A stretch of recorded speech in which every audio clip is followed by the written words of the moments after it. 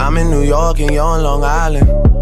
I don't even treat you that good, girl. Why you smiling? It's three in the morning. Why you driving?